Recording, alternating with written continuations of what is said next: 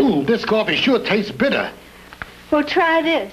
Chock full o' nuts new special processed coffee is robust but never bitter. Page is right. Chock full of nuts new special process instant coffee is never bitter. It can't be, because there are no cheap bitter beans in it. Hey, this is great. It smells good, it tastes good, not bitter. If you don't like bitter coffee, Chock full of nuts special process instant coffee is for you.